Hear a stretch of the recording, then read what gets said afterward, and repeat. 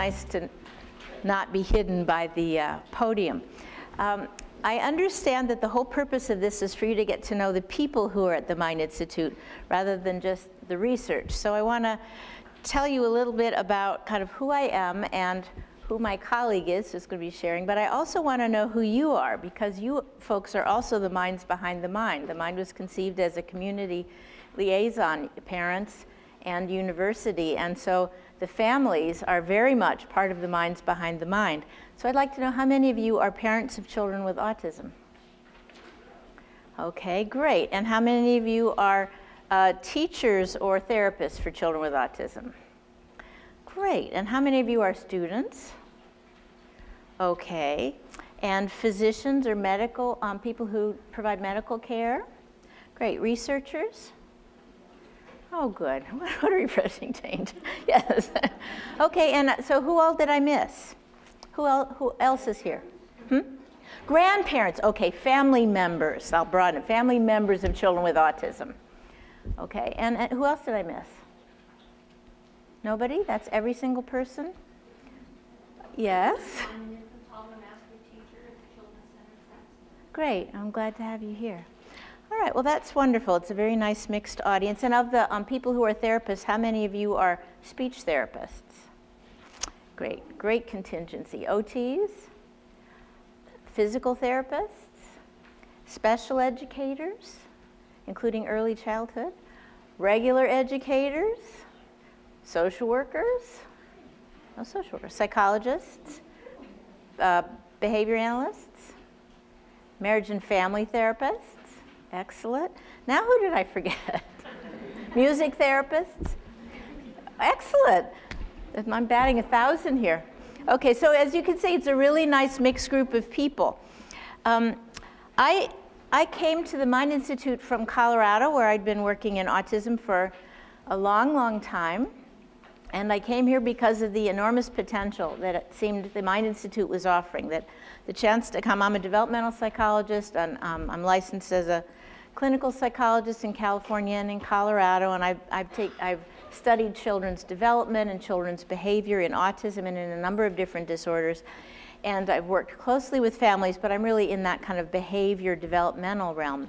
And so the opportunity to come to a place where I could work side by side with brain researchers like Dr. Amaral, who's here, and um, people who study the genomes, the genetics of autism, the um, people who can do electroencephalography and that kind of processing of autism, people who could look at psychophysiological process, to be able to work side by side with that team and to not have to convince everybody that autism was really interesting and that they should come and join us in autism study, to not have to keep twisting people's arms to get them into autism research. It seemed like it would be like heaven on earth for somebody like me. And so, um, and I have not been disappointed. It's been a wonderful, wonderful opportunity for me to be here and to work. I have a colleague, we're doing uh, in addition to the behavioral and developmental studies that I'm doing, we are doing eye tracking in our labs. We've got several young people who have come, and so we're looking at gaze patterns in children with autism. We are, I'm collaborating with a study on EEG, um, monitoring of mirror neurons and imitation in autism.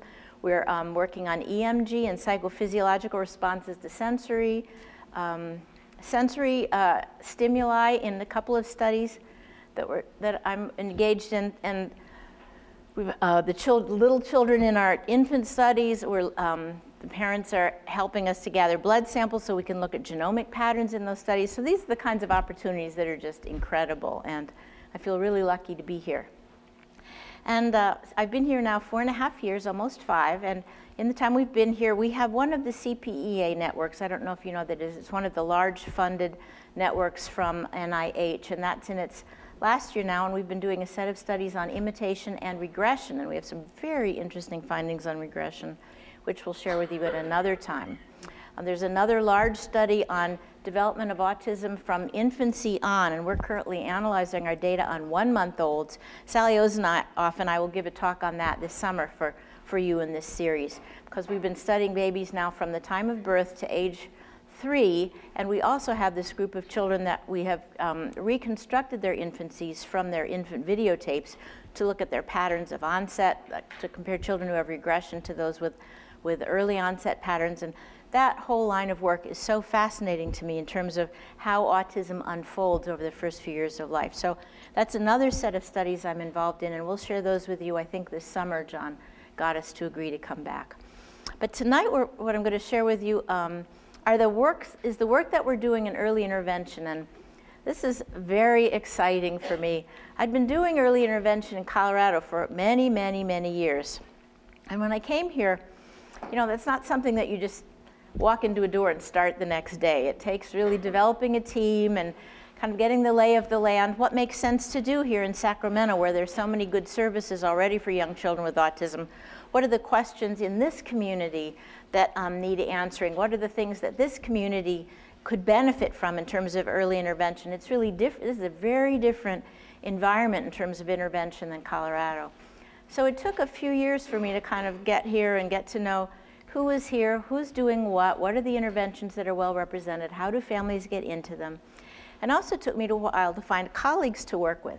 But I'm a very lucky person. Two years ago, a wonderful young woman joined our team. Her name is Laurie Vismara. You might know the Vismara name. Um, there's um, a, a, lot of help for autism in Laurie and her family. And Laurie came very well trained from the Koegel Lab and trained from Santa Barbara in PRT. And she came here to do postdoctoral research. And so she um, convinced me how good it would be for us to get going in early intervention studies again here. And so the combination of work I'm doing with Laurie and work that I'm doing with Geri Dawson in Seattle is what we're going to be talking with you about tonight. But I want to introduce her. Come on up, Laurie. She's, uh, she's a, one of the bright lights of the Mind Institute. And you know, as much as we're into research, we're really into training. We really need to create the next generation of autism researchers. We need them to know a whole lot more than what my generation knows in a lot more areas. And Laurie's one of the people who's going to be that next generation of well-published and well-funded and autism researchers who are um, helping us do tremendous things with kids with autism. So why don't you tell people about yourself a little, Laurie? Uh, well, thank you. I'm so pleased to be talking here to you today and to be showing you the project that we're currently doing with uh, toddlers and, and, infants with autism. Um, as Sally mentioned, I received my degree in educational psychology from UC Santa Barbara. I worked there with Robert and Lynn Koegel, uh, learning the intervention approach pivotal response training. And I had the pleasure to work with so many families and their children, uh, both in the homes, and the school settings, um, you know, wherever the families wanted to work, we, um, we use those intervention strategies to improve the children's behaviors across a wide array of different functioning areas uh, to, to really address the family's needs. So to think of not just what the, the child needs or what the parent needs, but what that whole structure, that whole unit needs to really to function as a whole. Um, so I, let's see, and then on a personal note, um, as Sally alluded to, um, I have a younger brother with autism. So, you know, I'm in this, I'm invested in, in autism not only as a researcher as a, and as a clinician and therapist, but also as a family member. I understand the struggles, at least from a sibling perspective, what families go through from the time that, you know, they, they hear the news of the diagnosis to trying to find what is a, a, good fit, what's a good intervention fit for them, and what's going to really help their child and help them and make them feel whole again. So I'm so pleased to be here. Again, I'm just so excited to share our work with you, and I look forward to your comments and questions. Thank you.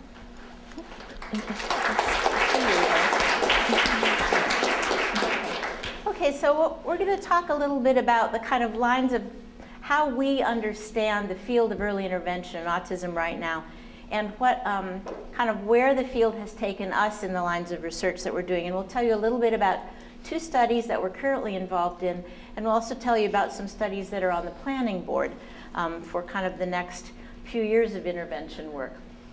But um, let's talk a little bit about kind of what we're thinking about and how we got to where we are right now and where that is we're going to talk about, we're going to talk a little bit about kind of how we understand the different currents that are going on in early intervention right now for young children with autism.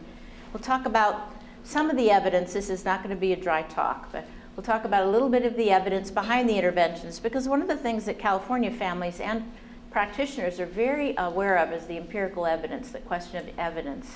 And I think it's one of the strengths of California the amount of education that's gone on about the importance of looking at evidence behind interventions and not just the hype about them. And then, as we said, we'll talk about studies we're currently involved in and studies that we're planning. And um, this is a busy slide, but it basically, it, we have a very nice summary document that was published a few years ago by the National Research Council in 2001. And it involved um, a large group of experts in early intervention who are distilling the research at the time to try to help us come up with what are the most important things that any good early intervention program needs to handle. And they talked about the importance of focusing very strongly on communication, spontaneous communication, and on generalization and maintenance of skills that are learned. Not just learning, but using, being able to use those skills in many different situations and with many people.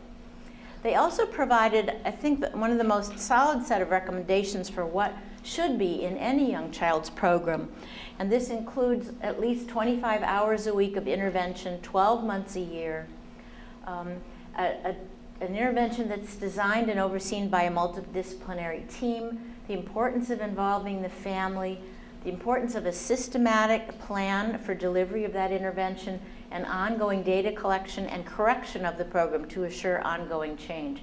If you don't know this document, especially family members, this is a very useful way, I think, of gauging how, um, how the program that your children are in stacks up against what we currently have as the kind of the best standard, best practice right now.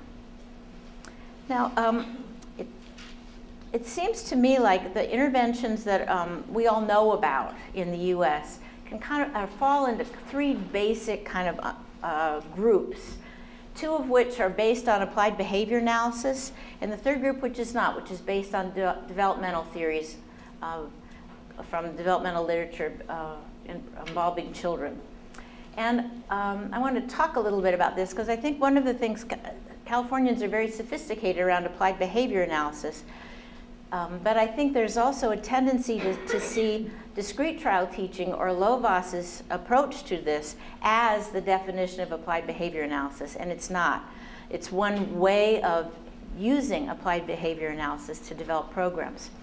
And I think it's important to understand the breadth of ways that people can apply the principles of, of ABA to develop children's, uh, to develop interventions for children. So as I kind of look at all of these projects and have, I've had to write a couple of papers where I've had to review all this literature. And so you know when you write a paper, you have to have an outline. You have to have some way to make sense of, of all of these studies. So for me, clustering them in these three ways makes some sense.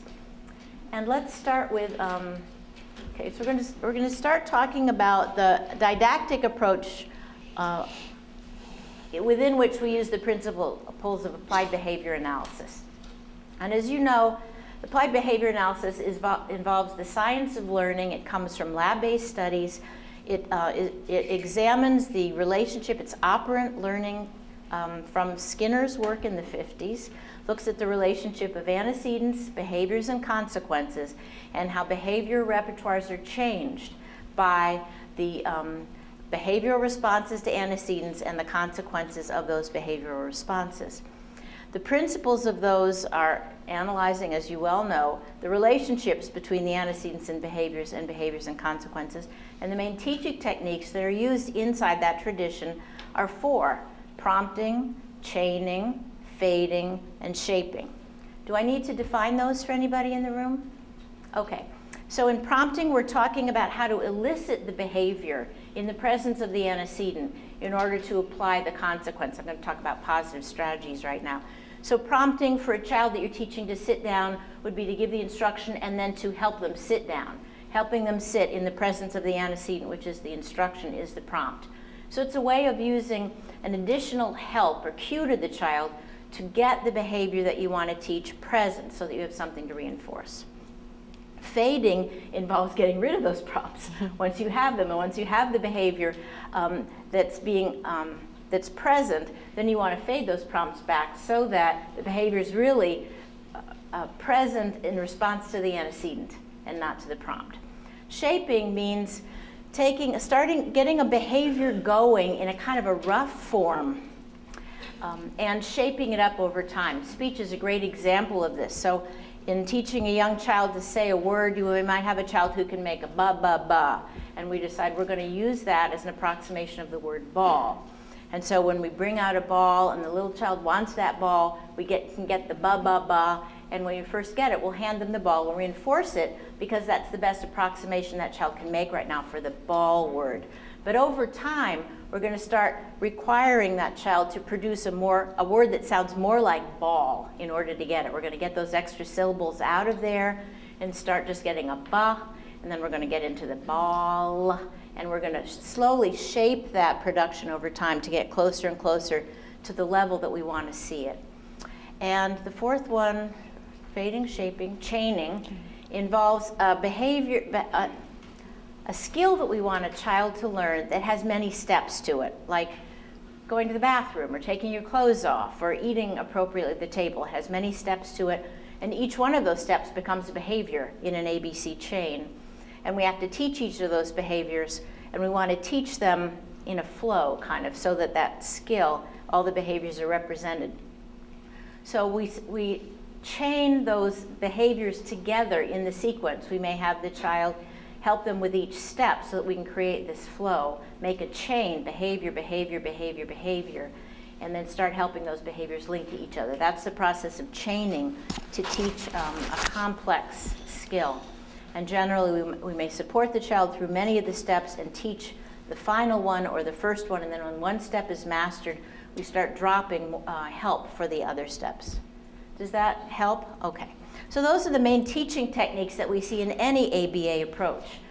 Um, but these, uh, in our country, applied behavior analysis is applied in two kind, of fairly different ways. If you, when you see samples of these behaviors, they're going the teaching is going to look really diff different to you, even though the, the underlying principles and teaching strategies are the same. Um, one way of using applied behavior analysis is in a kind of a mass trial way, in which the adult has a lot of control over the teaching episode. The child is, is kind of a respo- in the respondent mode, the adult is in the active instructional mode, and the adult gets such behavior that they want and practices it many times in a row which um, we can call mass trials. A lot of trials are practiced at a time because, you know, we learn new skills through practice. And children require as many episodes of practice as they need to get a skill in their repertoire. So in mass trial teaching, we see an active adult who chooses the materials, who chooses the lesson, who selects the reinforcer based on how much the child wants it, um, regardless of kind of what it is or what relationship it has to the lesson that's being taught. The adult decides what level of response is going to get that reinforcement, decides ahead of time, and then masses those trials initially till we get a certain level of learning then starts thinning trials and requiring more advanced um, production, more spontaneous production, et cetera. So um, that's kind of the bare bones of mass trial approach or more didactic approach, and the Lovaas approach is a very, very strong example of this. The similar kinds of teaching is used in the Princeton program and in many of the uh, strong behavioral programs that have been uh, present for a long time. The very first case study that was ever done, uh, talking about intervention for a child with autism, um, used these methods. That paper was written in 1964, and it described this kind of teaching. And it's very interesting to go back and read that paper and see that the same lessons and same approaches are still being taught today and for thousands of children in this country. Okay. Here's an example of what this kind of teaching looks like.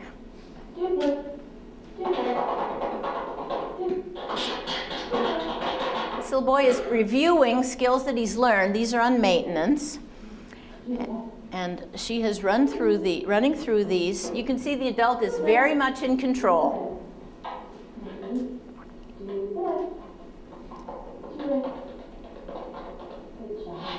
There's the reinforcer. Let me see if there's I'm not going to spend a lot of time on this. I think if there's anything Sacramento knows, it's this kind of teaching.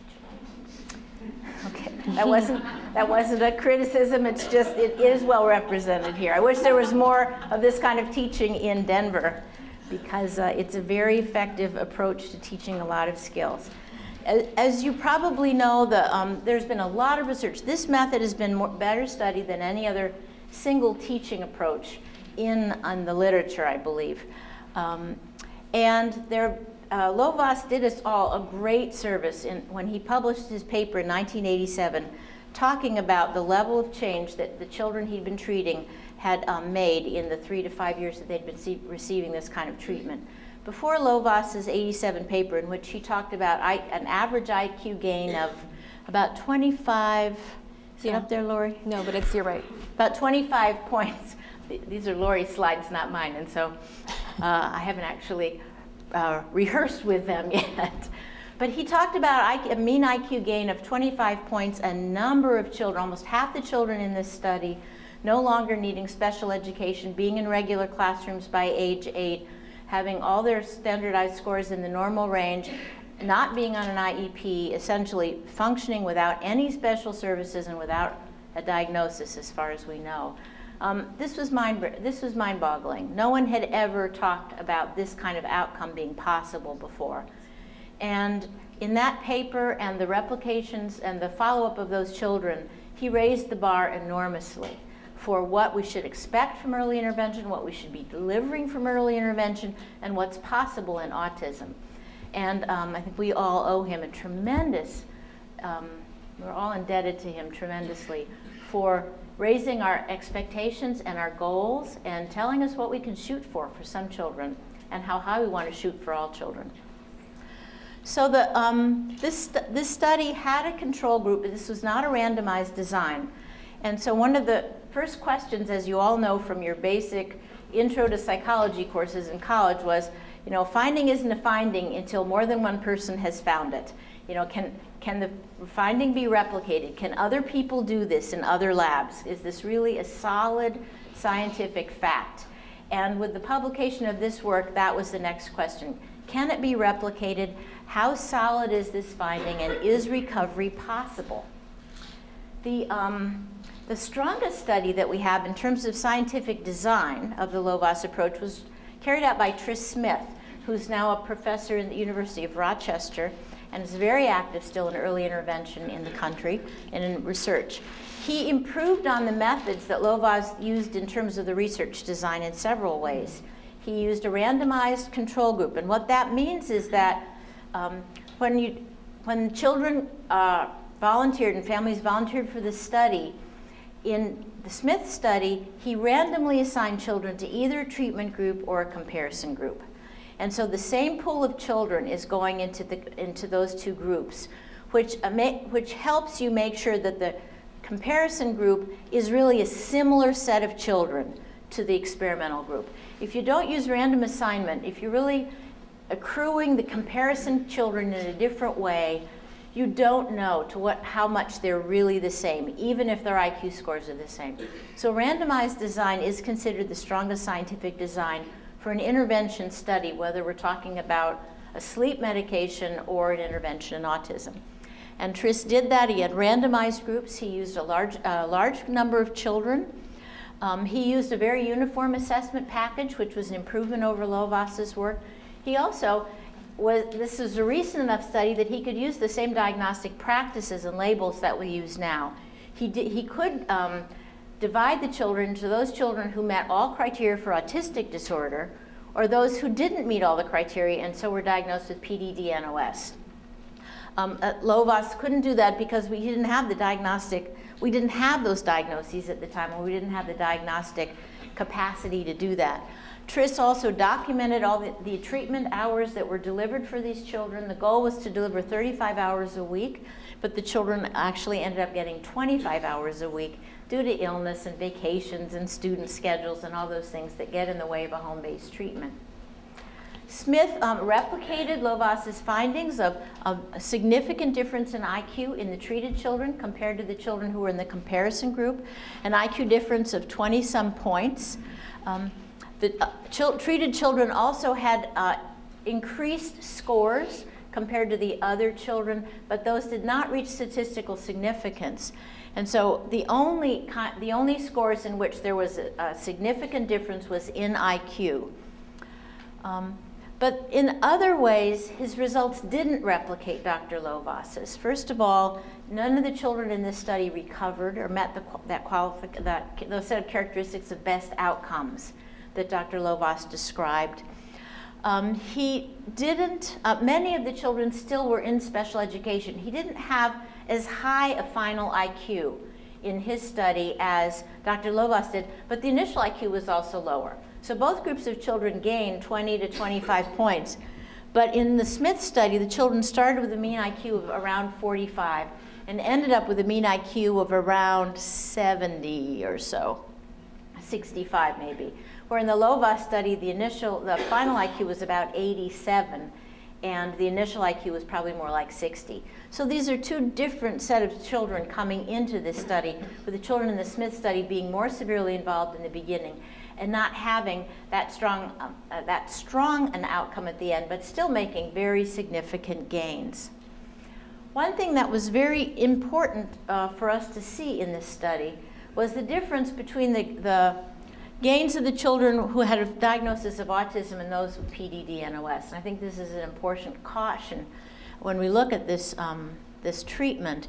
This shows you on that side the children who were diagnosed with full-fledged autism, and on this side the children who were diagnosed with PDD-NOS, which means they didn't meet all criteria for autism.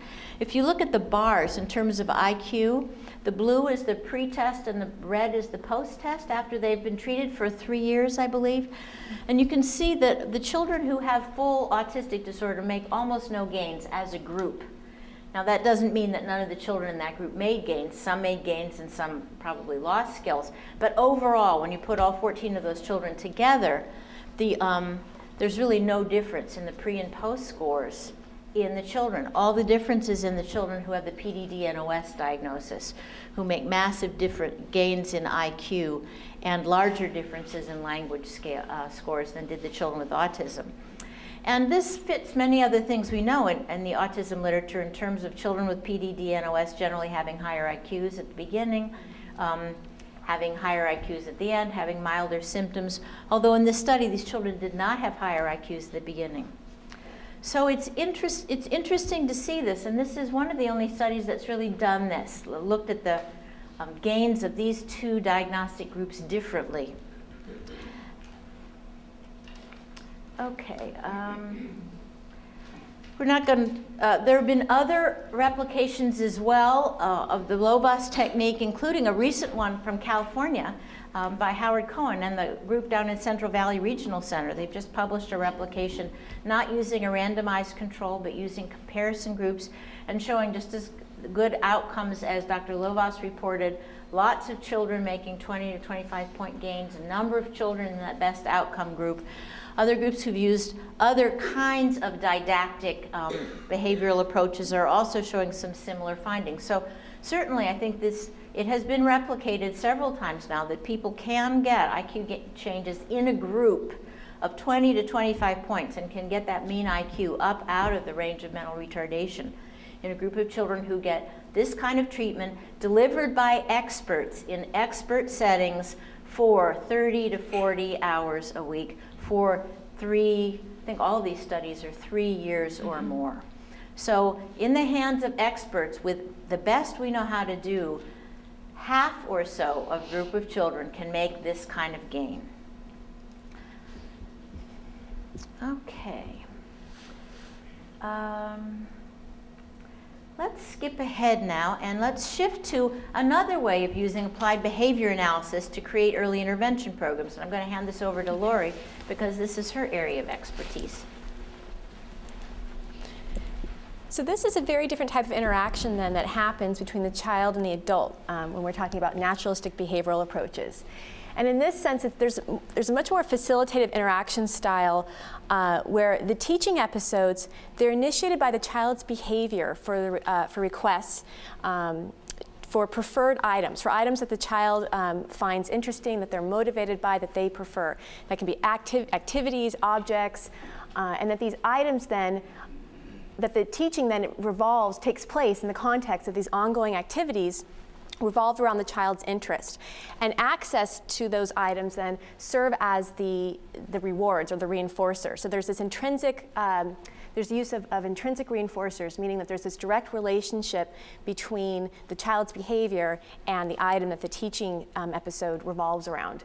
Uh, the focus is really on building spontaneous spontaneity in their language, having it be flexible and, and meaningful and functional across a variety of different activities in different social contexts and with, uh, with, with several different well, social partners, whether that be adults or peers, and on um, having there be continuous engagement between the child and the adult. So the child really takes on a much more active role than the respondent role that we see with the didactic uh, behavioral approaches.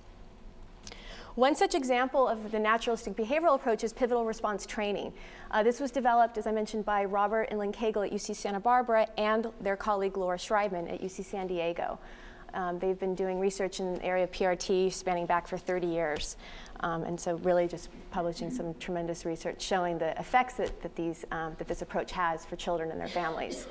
The teaching strategies are similar uh, in terms of fitting those uh, the principles of a naturalistic approach in the sense that the adult uh, well that you're using child preferred items again as the basis for your for that teaching episode that those are the the materials or the stimuli that you're using um, the adult presents very clear instructions very short concise words or, um, or prompts to the child. Again, you're using intrinsic rewards, um, naturally occurring consequences to what the activity is, um, and related again around child preferred items. You're also the, another key component is that you're acknowledging or rewarding the child for making attempts. Um, Sally gave an example earlier. If a child can't say ball, they might make a ba, ba, ba, ba. That would be considered an attempt, and we'd want to reinforce that and accept that and give the child the ball for making that appropriate uh, production or, or vocalization. Another uh, strategy is that we're varying the types of activities that we're presenting with them. Um, we're, again, we're, we're kind of following the child to see what they're going to land on. If it's the ball, and they, you know, we're going to do a game around the ball, and then they move to trains. We're going to then bring the teaching episode um, to the train and, and, and use that in a way where we're doing turn taking between the child and the adult to work on different skills, whether that's language or play. Um, so you're able to work on a variety of, of different skills by using that turn taking component, and to to look and see what the child's doing and then to elaborate and expand on that so that you can really target um, different areas lastly, you're interspersing, you're, you're, providing teaching opportunities that allow the child to perform a task that they can already do. Uh, that's referred to as a maintenance task. It's, it's within their repertoire. But then again, you're providing opportunities for them to, to, to go slightly above what their current functioning level is, and that's how learning takes place. But we make sure to go to alternate between those two types of teaching opportunities because we want to keep the child engaged with us and to stay in the activity and not to, to leave it. Um, the, the, really, the, the key to this approach to pivotal response training is in identifying behaviors that play a pivotal or central role in development, in the child's development. And the idea is that when you when you identify these behaviors um, and then address them and target them through the teaching strategies, you're going to see wi widespread positive changes across a variety of different functioning areas. So for example, one such area identified as pivotal for children, particularly at early communication stages, is their motivation, that their social tendency to approach and interact and respond to people and things in their environment. And what the research has shown is that when we use these teaching strategies of PRT to, to target motivation, to increase these children's tendency to, um, to approach an interaction and, and engage with an adult, we see dramatic increases not only in their levels of motivation, but across, but collateral gains across a variety of areas, including uh, lang language used in a spontaneous way where the child's initiating it. It's not dependent on a, on a prompt or a cue from the adult and they're able to engage in things like question asking and commenting. Uh, we also see that it affects all the different forms of language, increasing prepositions, um, improving articulation, and then targeting other um, social communicative skills such as joint attention, imitation, play skills. So really getting at these core areas that um, are impaired in autism. Uh, the research has shown too that these, these gains in social communicative areas that they continue to occur um, over time and again in different um, in, in, different activities and settings outside of that instructional um, or, or, teaching episode where it occurred. So if it's happening in the clinic, it's also happening in the home, in the park, in school, um, when the parents, you know, taking the child on errands, wherever um, the child and the adult are, or even with peers, we see that these gains continue to occur. And because you're focusing on improving the child's motivation, you're not encountering these problems related to unwanted behaviors or resistance. Uh, the child is eager to learn. They, they enjoy the, the, um, the teaching episodes because it's based around their play. So those are the principles of PRT. Um, another area that's been examined is looking at this relationship between child characteristics and the effect it has on their treatment outcome. And specifically, this, is, this, is, this term is coined treatment mediators, this idea of what characteristics, behavioral characteristics, do we want children to have at the beginning of treatment that can, um, that can help them respond that can give them the most chance for responding well to that intervention program. And some research that's come out of um, the folks look, that that are trained in PRT is that we see that positive outcomes from PRT are associated with children showing higher rates of social initiations at the beginning of intervention, um, less peer social avoidance, meaning that they're, they're interacting more with, with their peers, they're approaching, they're, they're maintaining interactions for longer periods of time, and also showing more toy play and stereotypic um, language, and then again, less social avoidance, that these have been really important predictors that we want children to see. Some of these research, researchers have gone on to then raise the question of whether or not these children, the children who do not show these behaviors can be taught them. For example, the Koegel, this Koegel article um, they took a new group of children who were not show, making initiations, and they were successful in teaching them to, um, by using PRT to, to approach others, to, to engage in question asking, and that these children went on to show um, similar favorable outcomes. So these, you know, if the child's not showing these skills, it doesn't mean that they're, that it's not, um, they're not teachable areas to them.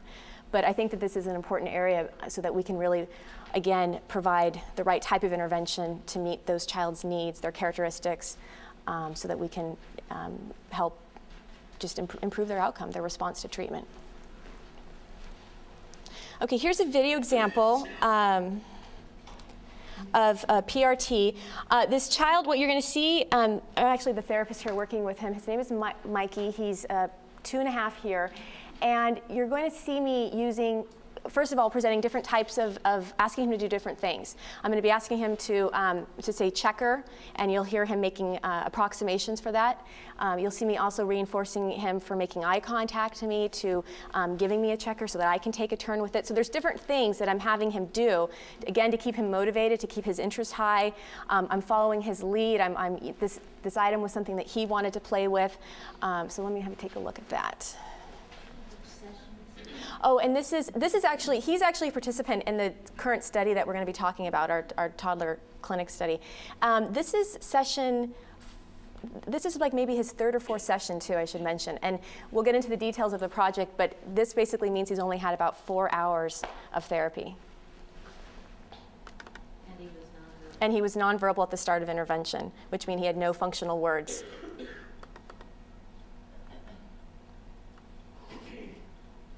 It's a white screen.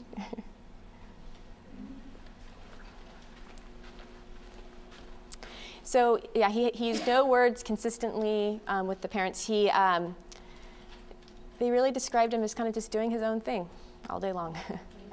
no play skills. Um, he, bas- he actually was let's see, the longest he stayed with an activity was maybe 10 to 15 seconds. He would pretty much take out an activity, look at it for a few seconds, dump it, and go on to the next.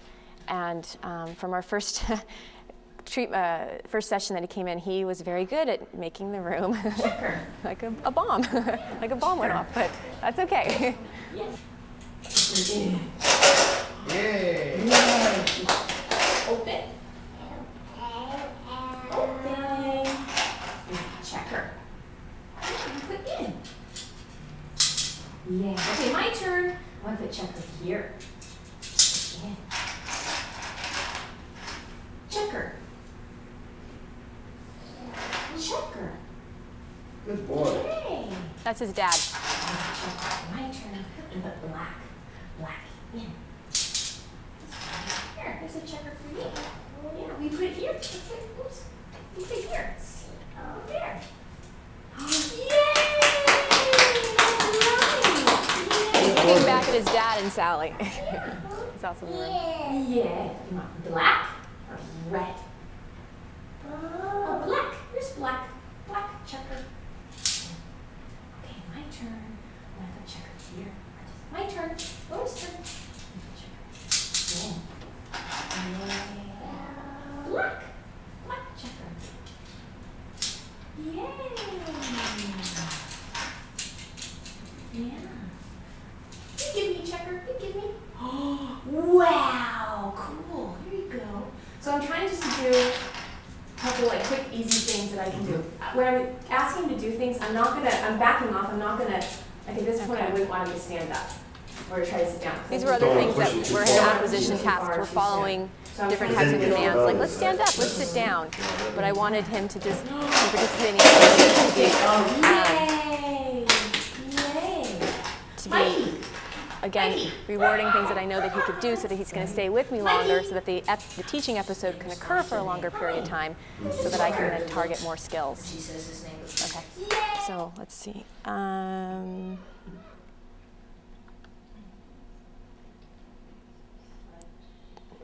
yeah. Okay. Okay, so we've gone. Okay, so I'm going to turn it back over to Sally. She's going to discuss the developmental approach.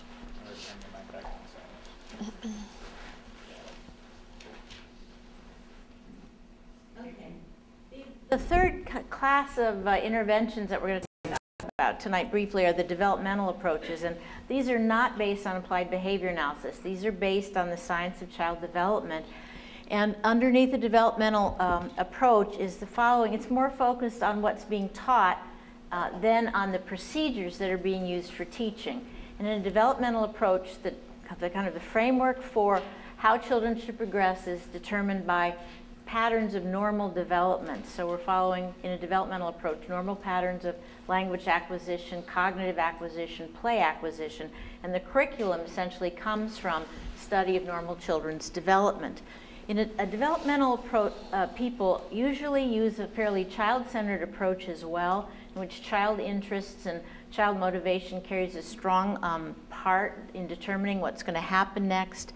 The focus is on interactions, on age-appropriate activities, and on following developmental sequences.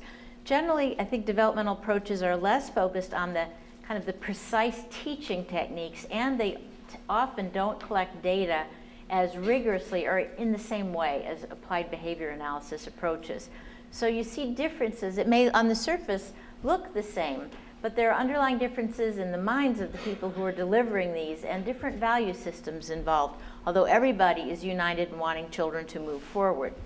Um, the, the differences in curriculum come out in, in, for instance, if we look at language, applied behavior analysis approach would look at the lack of language as a deficit and would say, okay, so we need to get words in here. The deficit is the child is not speaking any words, so we're going to develop the vocal repertoire and shape it into speech. A developmentalist would look at a child who isn't speaking yet and say, well, this child isn't speaking, and where does speech come from? Speech comes from nonverbal communication. And where does nonverbal communication come from? That comes from early exchanges of gaze and smile. So the, the developmentalist would look at the child and start going back through the developmental communication to see where is this child in reference to how normal children develop language. And a developmentalist wouldn't start teaching speech to a nonverbal child who's not communicating with their body either or not understanding other people's bodies not producing sounds. They'd back way up and follow a developmental route rather than a task analysis route. So, so there really are differences, even though we all want to see children talking and playing and having the cognitive and motor skills that we need, that they need. There are different uh, ways that people choose their objectives, um, make decisions about what's, be, what's going to be taught and how it's going to be taught. Okay. So now we're going to shift into some of the work. I, I want to skip over that right now. We're going to shift into a cup on talking to you about some of the therapy uh, studies that we're doing right now in early intervention. And one of these, uh, well, both of them come from a model which uh, we now call the Early Start Denver model. And this comes from a, a, fusion of a couple of approaches. The work that I did in Denver, which is a developmentally based approach to teaching young children with autism called the Denver model, and a fusion with the naturalistic applied behavior analysis techniques like PRT.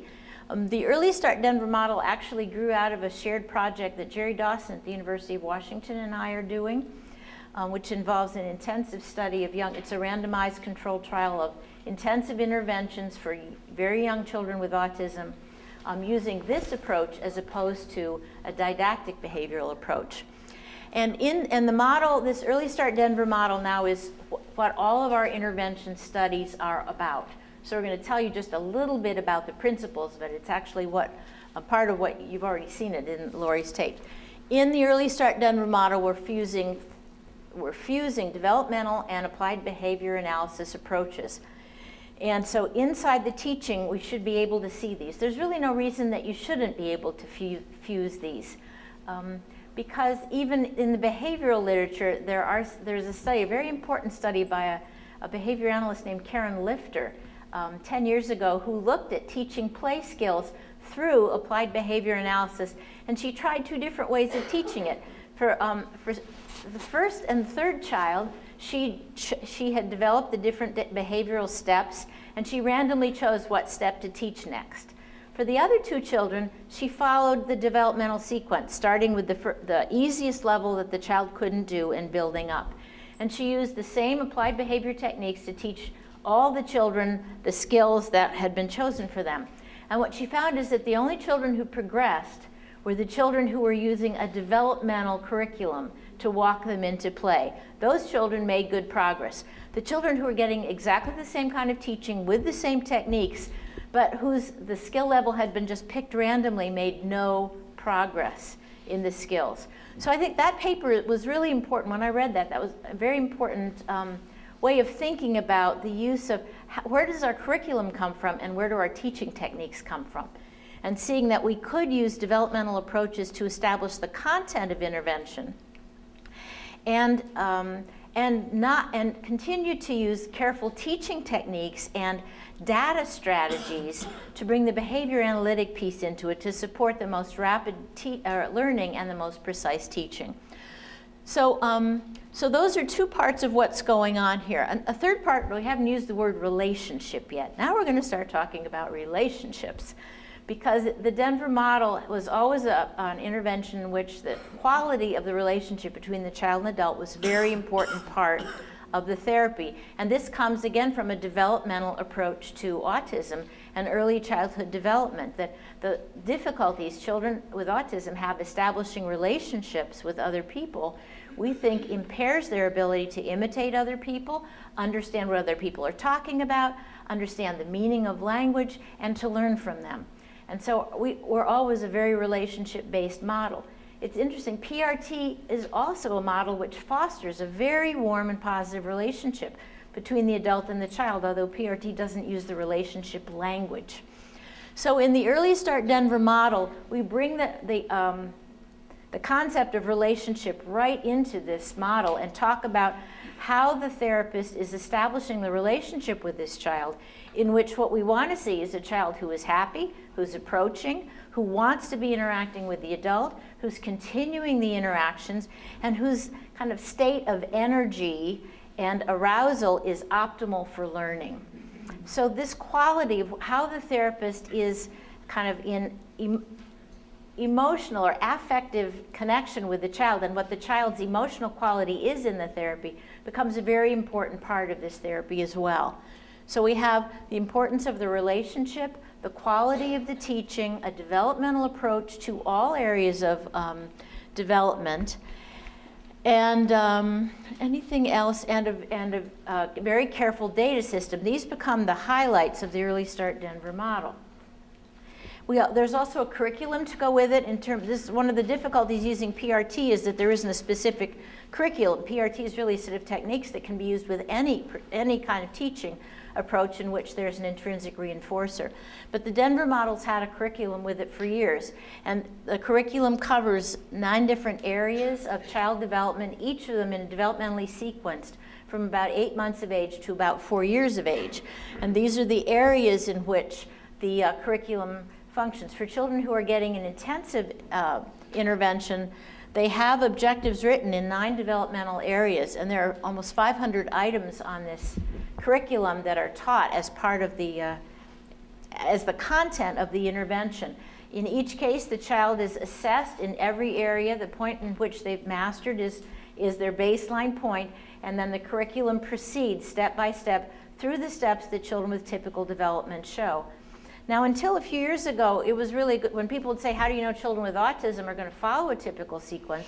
That was a really good question because we didn't have any data for it. Developmentalists wanted to believe it, but we didn't have good data for it. But we now do have actually excellent data that shows that children with autism do, in fact, follow typical developmental progressions in many areas. Um, Dr. Helen Tager-Flusberg has documented this in speech and language development.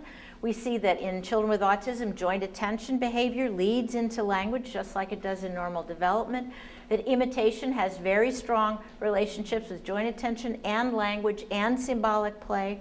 We also have papers now that show that attachment behavior, the quality of relationship, predicts to intellectual development, language development, and play development in children with autism.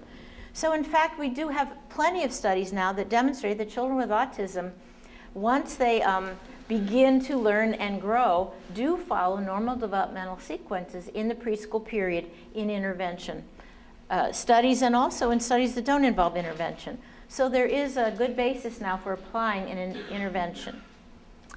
Um, you know, I'm going to skip through this, Laurie, and then we're going to come back to these things, I think. So the child is assessed and a set of developmental objectives are determined. And then the, the curriculum is developed, and we're using the kind of techniques you just saw Laura use with that little boy.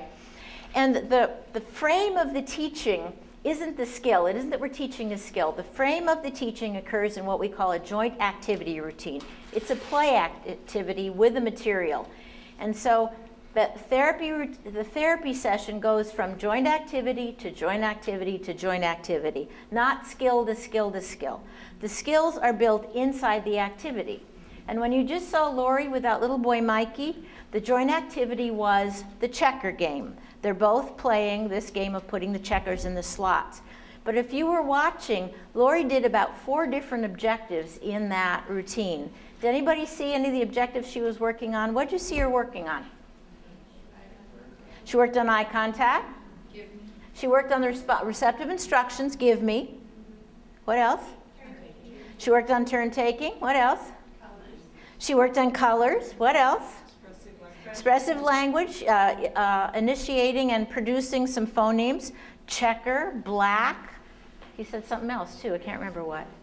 Uh-huh. What else? Did you see her pointing? She was work, there's an objective written on his sheet that follows a point.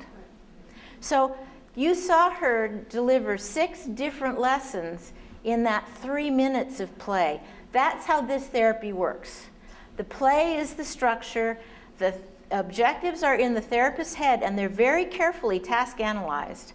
And any opportunity that's there is where it goes. And she's moving quickly from thing to thing to thing. Why does that happen? Why do, why do we do that? Why are we moving around so fast? We're following the, following the child's lead, and what else is it doing for the child? It keeps things interesting. Uh, they're not stuck. It's not repetitive. Also, you know in how a discrete trial, eventually they just kind of get it and they do it again and again and again, and you don't know if they really understand it? When you're moving around like this and you come back to it and you give the instruction again and the child produces it, you know they're really responding to the antecedent and not just to the fact I've done this eight times, I've gotten reinforced each time, I'm going to take my chances that number nine is going to be the same thing. So, but I hope you also saw the that, that this actually breaks down into an ABC sequence. In everything she taught, there was an antecedent. It was, do you want red or blue? Put it here. Give it to me. Um, she waited for looks, used his name. There's always an antecedent. There was a behavior or a prompt, and there was always a consequence. The consequence was what? The checker, putting it in, getting it. I love, she also worked on joint attention when she had him show give it to me and she gave it right back. Giving it back was the reinforcer. So there's a very careful use of reinforcement in this. It, you can analyze every interaction as the ABC. You can all see it happening, but it looks different. And we have a child who's initiating the activity and is um, very available for learning because we're right there in what he's interested in. So uh, you probably also saw a very positive affect between the child and the adult, this kind of lively, interested interaction. The child smiling, looking right at her, orients his body straight to her. There's nobody's telling him how to sit or how to position his body. He's there. He wants to do it. And she's capturing, she steps inside that interest and she joins him in it. And so she can create the, the teaching because she's now part of the activity. And she becomes part of the activity by taking the materials, handing them over, having the checkers. She inserts herself into it and then becomes a very powerful teaching agent. So it, that was the nice example of how this therapy works.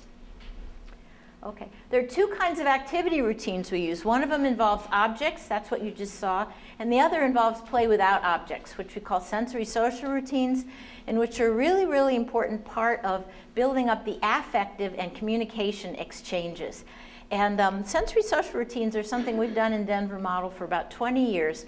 You, you might recognize them in uh, RDI or in floor time as those kinds of play activities where the focus of, of the play is on the partner. And the whole thing is about creating a lively, fun, interpersonal social exchange in which we embed all kinds of language and communication and social goals, but in which the attention's on the person, not the object. So in, in this kind of therapy, the therapist goes back and forth between object, joint activities, and sensory social routines. And the object activities were highlighting cognitive, fine motor, gross motor, and perceptual motor skills. In the sensory social routines, we're highlighting affect, joint attention, nonverbal communication, communication, and games.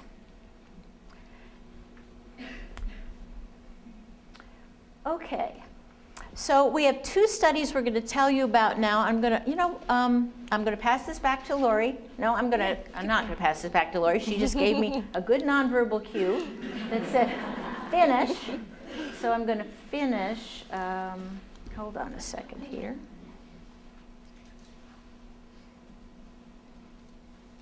Where's our, she's going to talk with you about that study. I'm going to talk with you I'm going to finish off my part. I'm going to tell you just a little bit about the study that's going on in Seattle, which we're really excited about. This is an RCT. It involves, it's a huge study. It involves 48 children who are randomized into treatment or non-treatment. We're using the Early Start Denver model delivered intensively 25 hours a week in children's homes, one-to-one -one for two years. Um, the parents get ongoing training in the techniques and uh, the the intervention project supplies the therapist. The children are 18 to 30 months old at the beginning of treatment. We follow them for 24 uh, and deliver care uh, for the children who are in the experimental group for 24 months. The children who are in the control group are followed. The children are assessed every 12 months on a wide variety of measures, including brain-based measures, because we really, we believe that intervention changes brain function. Um, and we want to document that. And I, um, so we have a variety of EEG and structural MRI measures in that study to look for brain-based re responses uh, from intensive early intervention, the children who get it. Uh, the children are getting one-to-one -one intervention by our trained staff in the homes 20 hours a week. The parents deliver another five to 10 hours a week. And then the children get whatever interventions their families want them to get so that our goal is for the children to be getting 30 to 35 hours across whatever they're getting with at least 25 hours of our model, and they are all getting that. We document that every single week. There's ongoing supervision and ongoing uh, fidelity measurement. The children all have objectives like we talk, just talked with you about, 12-week objectives. The objectives are defining what people are doing. Um, uh, we collect data in this. This is a good, good question that some of you might raise. It's like, how do you collect data in this? How can, how can anybody who's doing these ongoing things keep data? And you didn't see Laurie sitting there with any data sheet. You can't. You can't keep trial by trial data in this kind of approach. We, what we do is uh, we essentially time sample. Every 15 minutes in the, the home-based program, we stop, the, the child has something to do, we just stop interacting for a few minutes. We have a data sheet and we don't keep trial by trial data, we actually keep interval data. In the la we score every objective. In the last 15 minutes, what did we see? Was it there or not? And so in a two hour period, we can collect nine data points on every objective. And this is sufficient for making decisions. You know, nine data points give, I think gives you as much information as 40. You can still establish what percent success you have. And we can still maintain the same kind of rule uh, uh, that we, we change skills, move to the next step after three consecutive periods of, I think it's 85% or better performance. You can get that kind of data out of this kind of data set. And so that's how, it took us a long time to figure out how to do the data system. But we do have, we figured out a way to do it and it works. It's very fast. Um, and it's not, it doesn't interrupt the therapy. It gives the children, it takes less than two minutes to complete a data sheet. And uh, we have good reliability. We've checked reliability on the data sheets in an ongoing way. So it drives the program well, and it has helped us figure out how to do data in a relationship-based, um, play-based therapy. One other thing that, that we're kind of proud of in this that I want to talk with you about is how uh, it's individualization. We all know that no one therapy approach is right for every child, and you have to individualize if you want the best progress you can get. But individualization then takes you away from a manualized treatment, and as soon as you start individualizing, you're no longer delivering the treatment that's in the manual. So how do you deal with that? The way that we, we figured out how to deal with this was to create what we call a decision tree. And so the decision tree is based, this is an example of um, the first half of the decision tree, which is how do you decide um, what level of naturalistic or didactic teaching to use. Um, and it depends on whether there's an intrinsic reinforcer or not.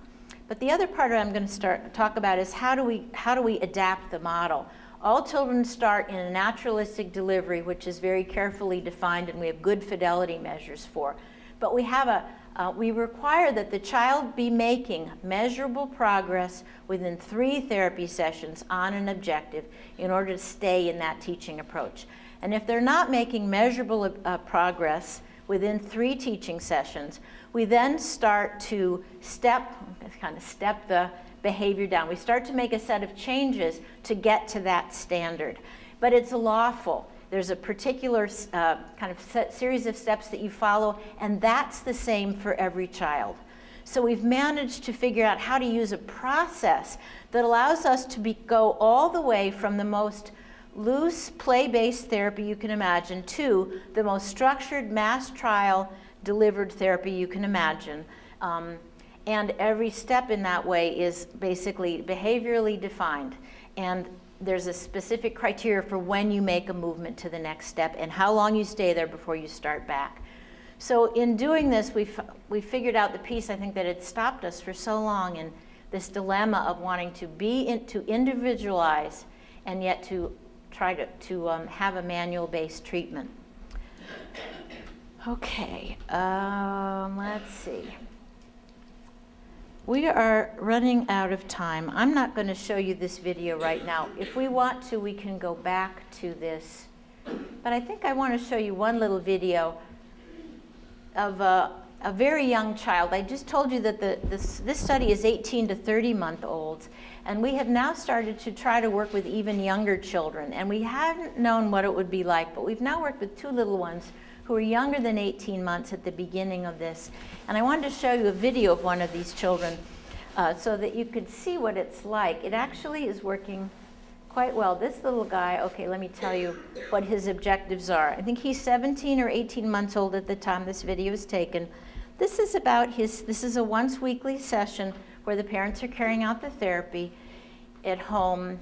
His objectives are he's nonverbal, he doesn't have any gestures, he doesn't produce, he produces very little vocalization and no imitative vocalization.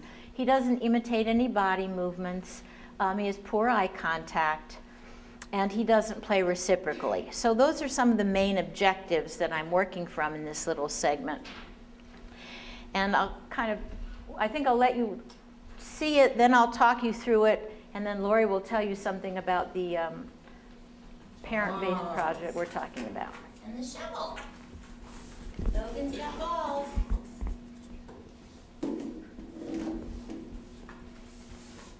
Ball.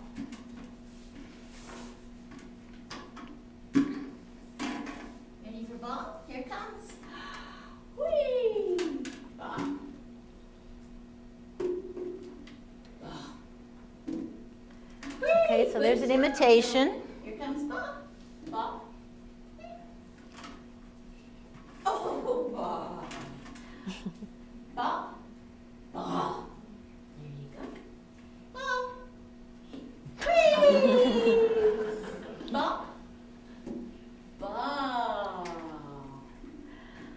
Throwing a ball is one of his fine motor objectives. Good job.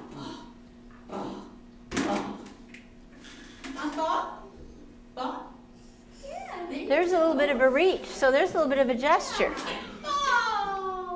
Whee! Good catch. He just made a little sound.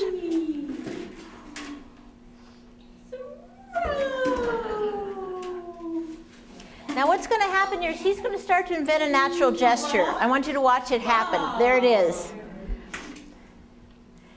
Throw.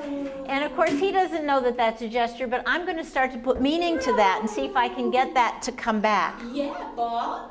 And there it is again. So I'm going to try to shape that. Here comes ball. Ball. Ball. Ball. Ball. okay. Okay, so you saw the affective quality again. At the beginning of that this clip, he's pretty flat. He's not really looking at anything, he's kind of sitting there, but we get that energy up and then he's there and he's available for learning, following his lead, doing many different, we worked on fine motor objectives in there. Uh, we've got production of sound, we've got imitation, we've got natural gestures, so you, and we've got turn taking going on.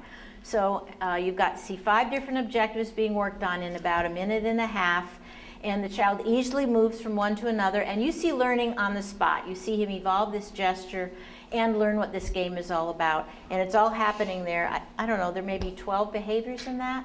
We've counted actually, we actually get a behavior about every 10 seconds in this therapy. So six learning trials per minute in this therapy, which is probably pretty close to what you get in a discrete trial format.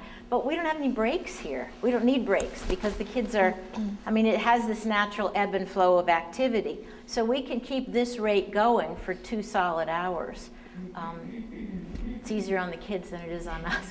Okay, so Laurie's now going to talk with you about the parent training um, project that she's doing right now as part of her postdoc. Okay. Uh, do, do, do, do.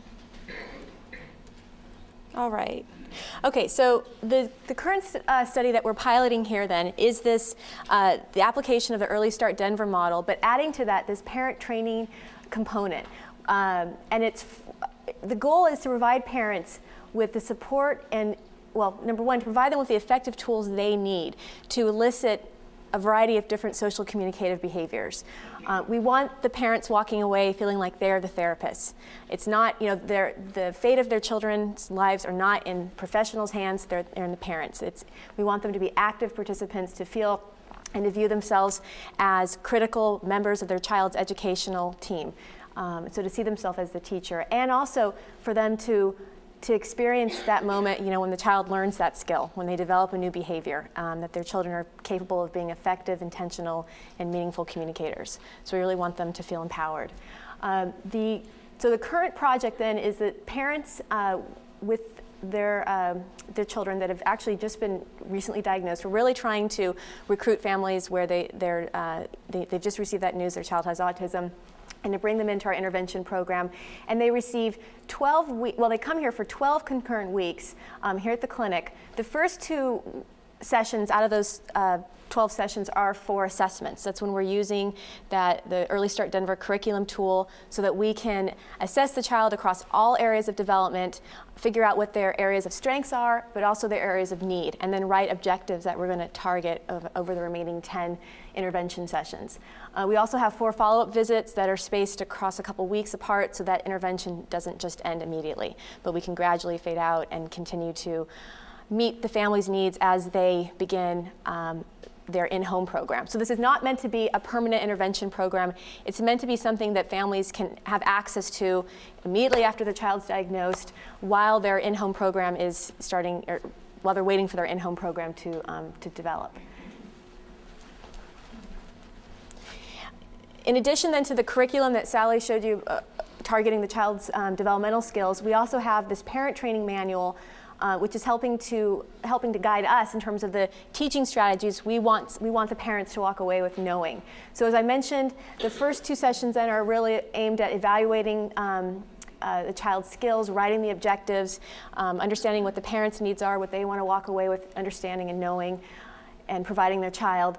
And then we start into a lesson. So each week there's a theme, a concept that we want the parents to understand how to, to use in these play in developing these play interactions with their children.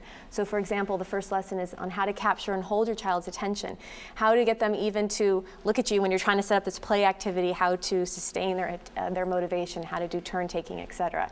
All the lessons really build nicely onto one another. But we also remember that each child, each family is unique and that some sometimes we might need to skip around a little bit depending on where the child's at or which, um, you know, what, what issues we're dealing with. So a typical intervention session looks like this. The family comes in, the first five to 10 minutes are spent reviewing what's happened um, at home for the, the, prior week, you know, what, um, what inter out of the different play uh, episodes the family was setting up with their child, what worked, what didn't work. Uh, we also want feedback from the family too in terms of the, the way that we're teaching them um, the skills that we're wanting them to walk away with. So we really so we spend the first five to ten minutes just kind of catching up and seeing you know what's what's been going on at home. The next um, about 10 minutes, we ask the parent to play with the child, and this is where we're looking, where we're taking a lot of our data from as well in terms of the uh, child's progression of skills across those different developmental areas, as well as the parent's ability to continue using those teaching strategies. If there's any area that we see room for improvement, we're then going to take that time to kind of to, to improve the parent's skills, to touch up a little bit on whatever the prior week um, lesson was for that concept. We then discuss, discuss the new teaching concept with the parent where the therapist demonstrates that with the child. So just like you saw the video clip of me on the floor, that's what we would do, discussing whatever the new teaching strategy is for that week. And then um, we then gradually transition the parent into that play activity so they have a chance to practice that, that new concept while the therapist is giving them some feedback and coaching them along the way. Uh, again, we want the parent, we want that, the session to end with the parent feeling like they can continue that teaching strategy for the remaining week at home. Uh, we review the objectives, again, how to use that teaching strategy to continue targeting different areas of functioning for the child, and then say our goodbyes. Uh, the children, basically what I, the, the, children that we currently have in the study, they're, um, they're four toddlers with autism. Their, um, their age at the beginning of intervention was around 26 months of, of, um, of age. And similar to Mikey, the, all four, four children were nonverbal, um, no joint attention skills, imitation, uh, extremely active and avoidant. Uh, you'd even just try to hand them a toy and they you know, were under the table. So, so no really very limited play skills. Uh, I don't know if we have time to go through the data. What we're, what we're tracking, okay. The, the data that we're tracking across the, um, the 12 weeks of, of intervention sessions end during that follow-up phase consist of the child's use of spontaneous communication. So this, these are the number of spontaneous words the child's using um, during baseline here, which again means before intervention is started, we see very low levels for all four children. They're color-coded here. And then this line indicates when intervention starts, and we see increases um, compared to their baseline levels. And at the present, only two children um, have completed the follow-up phase. The um, remaining two are, are, close to finishing, and so then we'll have data for them. But we see that they're using these words, again, in a spontaneous way. It's not dependent on the adult saying, say ball, say train. They're using it in their own meaningful um, and functional way. Similar uh, presentation here for the child's ability to imitate words, to imitate behaviors and actions they, they see um, us doing with objects. So for example, Sally threw the ball, the little boy picked up, picked up the ball and he threw it himself. Um, also gestures, um, pointing, showing, blowing kisses, waving bye-bye, all those. Mm-hmm. Oh, yes, thank you. What we're tracking the behaviors then across play activities with the parent in this top panel here, and then also play activities with a therapist because we really want to see we want to get a, a, a, global kind of representative view of the child's ability ac across um, each session here. So there's two play samples. Yeah. Yeah, and so the point is, is that, and again, yeah, that's actually a very good point, is that it's not this therapist who's the professional who's getting such great behaviors, it's the parent. They know their child the best, and this is what we want to see. We want the parents being more successful. Yeah, it's true in everything. Uh, this attentiveness, this is looking at the child's ability to stay with the activity, to participate, to be interested, to cooperate with the, with, you know, with the adult in, what, um, in, in completing the activity together. And it's measured as to whether the child's showing high levels of attentiveness, moderate levels, or low levels. Again, with the parent and then with the therapist. Um, same outline for initiation. So now that social sharing component, how often is the child wanting to share the experience of the object or the activity uh, or the event with the parent? So it's not so much just about completing the activity, but you know, looking up at the parent and saying, "Do you see what I'm doing? Like, praise me, give me high five, clap for me." Uh, and then lastly, looking at the parent's fidelity level, meaning their level of mastery of using the teaching techniques. So we want them to be what we consider a mastery level is having them perform these teaching strategies at least at an 85% level, if not above, and that's what that dotted line indicates. So above that line means that the parents are using these techniques consistently, um, uh, regularly with their child, and that they're just as effective as a therapist. All right. Uh, very quickly, these are the developmental objectives that we write for the children uh, based on that curriculum. And the idea here, well, what we're seeing here is that for um, the children, these first three children that have actually finished the interv finished intervention, that they were between 73, they mastered 73 to 93% of their objectives. And then for the two children who have um, finished follow-up, they uh, completed those remaining objectives. You write like 15 to 18 yeah. objectives. This is not three objectives. This is 15 objectives taught in a 12-week period where they're only getting one hour, one hour of therapy a week with us. So this is a this is a lot of learning that's going on, and the parents are doing it. And there's no instruction for the parents to do this many hours or do it this. We don't. This is just this is how this is how your baby plays. So the parents themselves are using these techniques when they want to, where they want to. There's no expectation from us of any particular number of hours and no requirement. Parents do tell us what, and they estimate for us. But so this is really the parents themselves incorporating these techniques into their ongoing play and feeding routines with their children and learning how to stimulate development. Okay. So, upcoming projects. Okay, yeah, so the final thing, we just wanted to tell you kind of what's ahead. At this point, we have planned a couple of new studies that, that we are uh, hoping to be able to do. One of them involves a continuation of this parent training project, um, but, but going to very young children. We would really like to look, work at the level of prevention. Is it possible to prevent the full uh, kind of development of autism if you can get to high-risk toddlers early enough and, and um, bring these skills along. So we are hoping to be able to do a parent training uh, study of 12 to 15 month olds. So um, if we can, if we get permission to do this study, we'll be recruiting for infant siblings at 12 months, 12 to 15 months who have symptoms or very young children whose parents and physicians are concerned that they may be developing autism at 12 to 15 months. That's one study that we're hoping to do start soon. The second one is a, this intensive treatment of 20, 25 hours a week in home for 18 to 24 month olds. We're hoping to be able to do a multi-site uh, randomized controlled trial with a very large number of children so that we can start to look at what predicts outcomes, what predicts best outcomes, and what predicts which children will respond to this kind of treatment and which children won't You know, we need to be, we need to start knowing ahead of time what the right treatment is for children so we don't spend a year or two figuring out that this is not the right treatment for children and, and have lost all that time.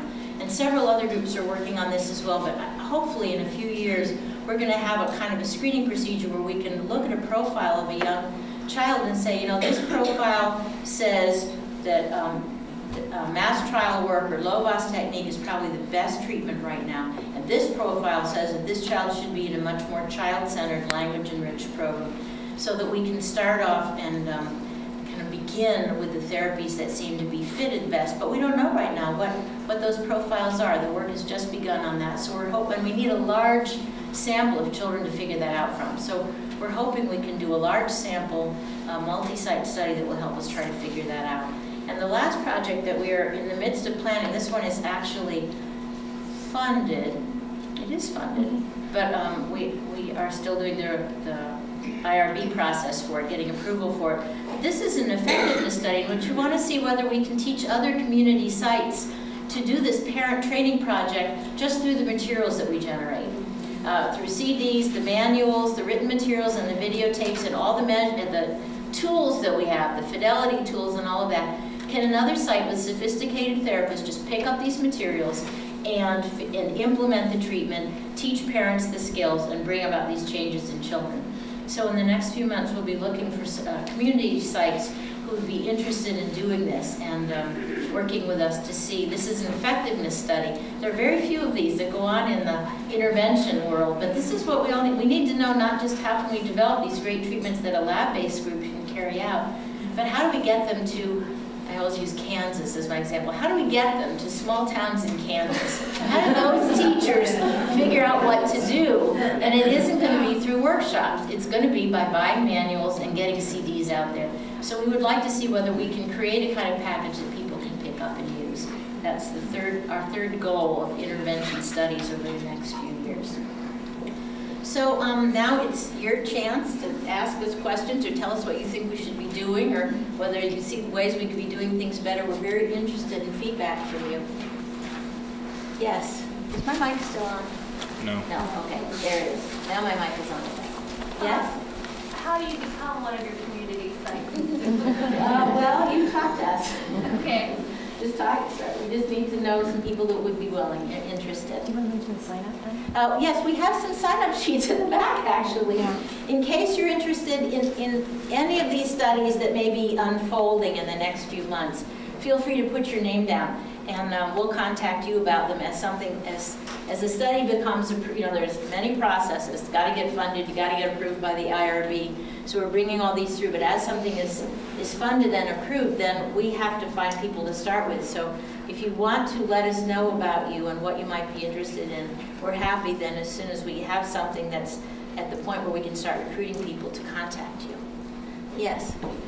I was wondering how you decide how long to, advise families to stay in one model before they're not showing progress, because I, I think what I've heard from your research, it's better to stick with one model than an eclectic approach of a bunch of different models at the same time. So, so how do you advise them when to make a switch if we're not making progress? Mm -hmm. Well, in my own work, you see, I've got this three-day rule that I want to see progress in three days on a new program, or I'm going to start messing with the program to get it. Um, if children are going to learn, they learn, they show you quickly if they're going to get something, is my experience. So I, um, it's a hard question because there's a lot, you know, lots of programs don't work the first time you do it, the first time you design it and try it. And it does take fiddling around and fiddling around with interventions with a new child to figure out what the right formula is. But I don't know, there's some real experienced therapists in the group. I would think in three months or so, we should know if a child is going to be making some progress in a new approach. What do all the rest of you think? What do you think, Elise? Do you think three? I'm pick on Elise. I don't know. I guess I'd want to see something positive happening in three months, or really, uh, really talk with the team about what are we going to do here. I mean, some children are very, very, very slow learners, but even very slow learners should be making some measurable gains if the programs are written correctly and the steps are fine enough. Yeah, it has, I think, a lot to do with the developmental levels that you were talking about before. If you're really targeting the appropriate developmental level where they really are, like the pre-acquisition skills they need for an identified deficit, mm -hmm. then if you've really got that identified correctly and you've really got appropriate motivation, then you should be able to see if that particular technique Yeah, if the step is right, the child is motivated, and you've got the pieces going, we should see progress. In little bits of progress in a week on a program. Yes? Um, I'm a first five commissioner for Solano County. And, you know, if you're looking for funding, besides hitting the uh, state organization, you can go to the local communities that perhaps you're going to have these outside communities in. There's money, you know, for parent training, et cetera, at most first fives. Also with the new mental health funds that we have, you know, if you've got the parent interacting and doing this at home, it's going to hit some of their mental health goals. So there is some money out there. Thank you very much. This is where it's a problem to not to be new to California because you don't know Yeah. all the, it's hard to figure out all the resources. So, um, can I have your card at the end? Well, it, takes money to do these projects, as you know. These are intense, these are highly, uh, intensely staffed projects. It isn't just the staff you see, but it's also the people running the camera and the people who are back there scoring the tapes in order to produce the data. So these are not um, Well, inexpensive First projects. For is us. big, even the local county ones, into collaborate. Great. Okay, thank you for that. Other questions? Well, I just find it amazing that, I mean, you've got four families, very young children, that the, the parents were very obviously accepting of the child's diagnosis because I still, I teach um, preschoolers, I get most of the children when they just turn three into a school-based program. And uh, I have parents that are just so in denial that they won't even buy into any of my suggestions and Mhm. use them at home. She's talking about um, parents, um, how long it takes a parent from the point that they get a diagnosis to be ready to move into intervention. And it's different for every family. There, there is something, I think, there's a timing issue here. And being able to say, you know, here's the diagnosis, this is what it means, we can start intervention next week, come back. There's a little window of panic in there, which is partly what we're trying to cap, cap, um, work inside in this project. Because people do get very sad and it gets very scary and energy can, can go away for a long time, I think. But right at the beginning of this, there is this kind of, I think, fear, worry, and tremendous amount of energy for, I want to help this child, I want to lick this, I want to do something different. And to be able to do an intervention that follows, you know, this week you come for your diagnostic visit, next week treatment starts, that's, uh, I think, a mobilizing way, a way to mobilize anxiety and worry and fear and grief into something productive. And then once you see children moving, you know, that's a tremendous thing. And for these little children, we've, a couple of them, they have been there right from diagnosis, and the first visit was a very sad visit all the way around. And then um, the parents come back the next week and they're like, we have to show you what he learned. You know, they walk in the door and it's just amazing. So there's a, you know, to be able to see that, yes, there is a diagnosis here, but that these children can learn. They can grow, they can learn, parents can teach, it can go so much better. Um, that's, that's what we're trying to create. And I also want to say this, this, these families, um, there are uh, the married families in this sample, and there are single fa- parent families, and there are a wide range of SES and a wide range of ethnicity in this. So this is, um, the- our- these four families represent our population. It's not a homogeneous group by any means. And um, it's, we've had, I mean, the room is usually full of family members. It's grandma and dad or grandpa or whoever. It's really, it's fun. So we haven't yet had an experience of, you know, this is only going to work for parents where there's a family member at home or the child at home with mom or where there's sufficient funding to get a sitter for the other kids. I'm sure that there are plenty of dilemmas that are going to make it hard for some families to mobilize this, but we've had a nice representative range of families and this, we've found that this works well. We've had bilingual children and bilingual families and Spanish-speaking families in the room. And um, so those, those children have done well, so. Yes. I was going to say your timing, I don't think, could be any better than what it is right now. We, some of us just participated in a press conference with Jack O'Connell. He released the infant toddler guidelines for best practices for typically developing children in the state of California, which is relationship based and family centered. And they're finding that these practices we know are best for typically developing. And here you have research now that's showing that it also is just as effective for children with autism which really backs, you know, programs like PITC and WestEd, who've also launched all this material on Mhm. relationship-based, family-centered, brings about best practices Yeah. for all children. Yeah, it's very nice when autism work can line up into developmentally appropriate practices and when we can see that there are ways in which, you know, certainly children with autism need special aspects of the environment. They need intensive teaching, they need organization to their curriculum, but see that the value systems and the philosophies and the overall goals can be similar for children with autism and children with typical development of the same age opens up a lot of different teaching environments. Um, And speaking of which, the other, my other dream project, which I don't have a proposal planned for yet, but I'm always looking for it, is a site that would love to do an inclusive activity. Because I've had the chance to do that in Colorado, to do this kind of work with young children with autism in preschools that were school-based preschools where most of the children had typical development. Those children did really well, and it was so much fun to do. And I would, I would love for us to develop some model inclusive environments around here so that we could ha have a chance to see how does it look? How can it look so that we can have more, you know, a wider range continuum of services for young children with autism. It can't, inclusive education can be incredibly effective. You can get hundreds of trials in a day in this kind of therapy in an inclusive preschool. It takes a lot of work all the way around, but it also, it works real well. Gail McGee in, in Emory has been doing only group-based intervention for young children with autism for years using incidental teaching. Her data are, are strong, her kids look wonderful.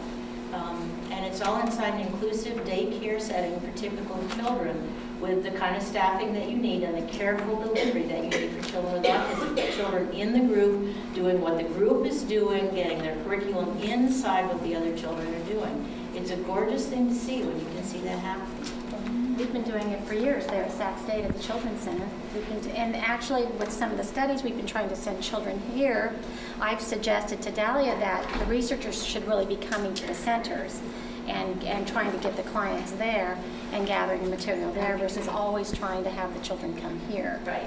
Right. We, we, we know. We just need some partners. We don't have any partners yet. Maybe we'll have some now. Yeah.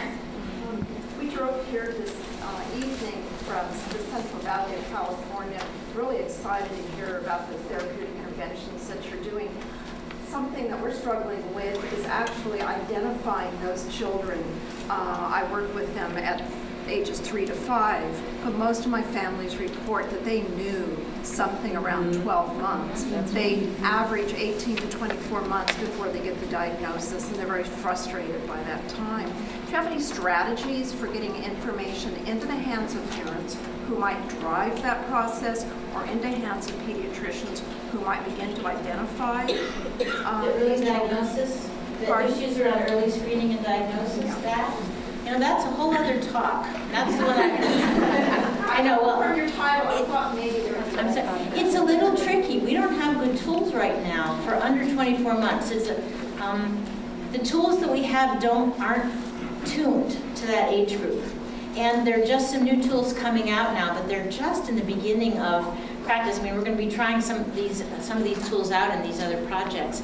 But our measures are not kind of where we need them to be right now. We know we can find, we know what, how the children look, we can study them, we can report them, but our standardized tools aren't great at capturing them yet. There are a couple of screening tools. One's called the ESAT, Early Screening for Autism in Toddlers, it must be. It's a Dutch tool, was just published two months ago. There's the MCHAT, which you probably know about, which is one of the better ones. And there's a new AOSI, Autism Observational Scale, must be for infants, which is a Canadian tool being used by um, Susan Bryson and Lonnie Zwaigenbaum. It's a test that you give, essentially. It's kind of like a baby ADOS, but it's an under 12-month ADOS. And we're just, the research is just coming in on how discriminating it is. I mean, the, the science is like right here, right now. We're all doing those studies to try to develop the instruments that you need to find these kids. I know it's really hard. In a lot of ways, I just read an article that said the best baby screener for autism we have right now is just a screen, a language screen. And that we probably have a better hit rate of using something like the ages and stages at a pediatrician's office, finding the kids who are behind, and then getting those kids seen by a special team. We can probably identify more children with autism that way than by ha- using our special tools for autism, which aren't tuned to the, that age level yet. So are pediatricians up here using the ages and stages? No. Not in the Sister Valley? There, there are several counties that are doing it, and they're usually funded by their local first five. They've got trained uh, paramedical people that go out and do this in the lobby before the child goes in to see the pediatrician. They're doing it down in uh, the Modesto County area, And they have a one-door entry for children zero to five, and their first five has funded that. Wow. That's great. We, Yes. in um, Sacramento County here, for the early Head Start program that we have, we use the Ages and Stages screener. And there's also a social emotional screener now too that we're implementing. Great. We need a little workshop just on this issue for professionals, don't we? Is John Brown still in this room? Yes, yes. Yes, he is still in this room? John Brown, wherever you are. There he is. There he is. I think we need a, we need a work, community workshop on screening, early screening. And Sally Ozonoff and I will definitely come and, and give a talk in the next, by summer. We'll, we'll bring with you our, our, our work on this and our, with our colleagues, because this is a real, there are eight studies across the world going on on these sibs. And ours is the only one that started at one month. And we're all watching these babies grow up, and we're learning a ton from them. And what we're learning is that autism looks all different kinds of ways in, across that period of time. And um, there isn't one autism profile. And it probably is going to be this broader screen um, that's going to help us identify the kids and then really watching for a long time, following them and treating them, but um, for their symptoms, and then kind of seeing how it all shakes out um, over time.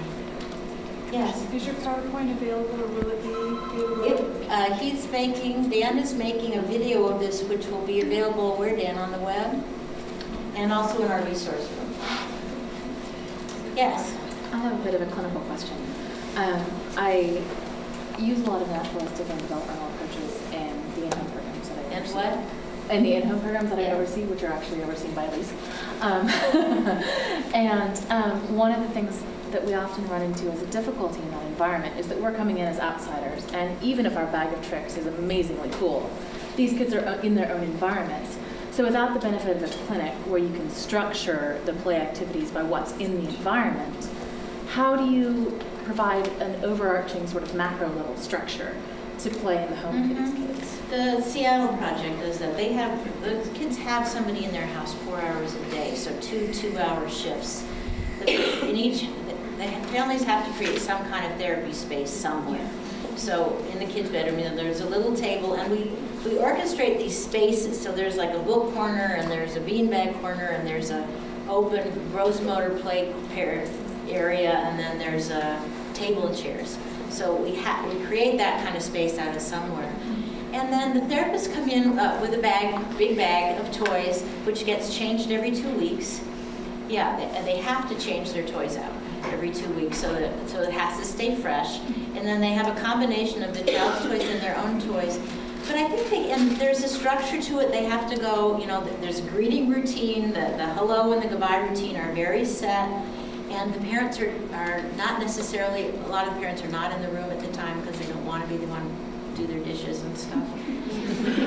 and, and there's just this structure of, um, you know, active toy, toy-based routine, sensory social routine. Table, floor, move spaces, every joint activity routine. There's some requirements that are built into this, but it just kind of takes a structure of its own and the kids learn it. And they, um, they adapt to it in that space. We adapt the spaces as we can. And the routines that the therapists develop, starting with the hello and the goodbye and the table to floor, active to quiet, object to not, just develops a routine over time that the kids get. But there, it's because it's happening every day, every day of the week for two years that it is hard in the homes. Although I think, I don't know, I've done enough home visits that the kids learn routines around the toys. Yeah.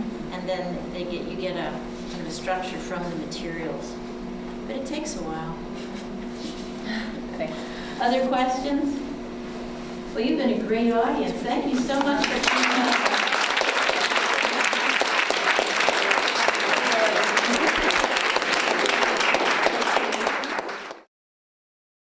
The UC Davis MIND Institute began in 1998 with a promise to find cures for neurodevelopmental disorders.